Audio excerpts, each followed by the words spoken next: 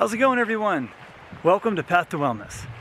Today's video, I'm back with another What I Eat in a Day video.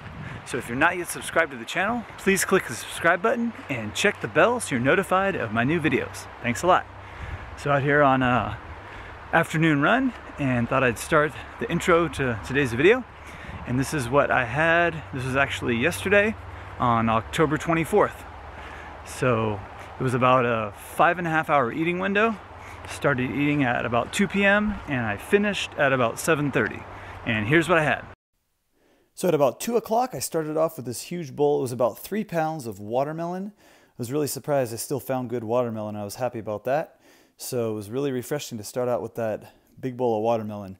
Then at about 3.30, I had a big bowl of oatmeal. It had apples, bananas, blueberries, peanut butter, cinnamon, and almond milk. And it was about two servings of oatmeal. So that was a really satisfying large bowl of oatmeal.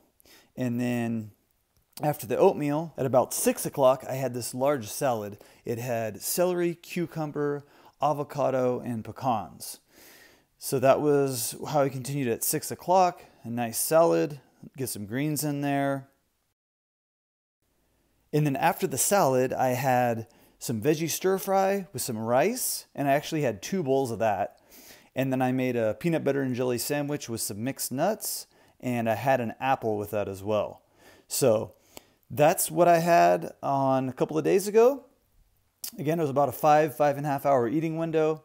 Felt really good. Thanks for watching. Give it a thumbs up, and we'll be back soon with another video. Bye bye.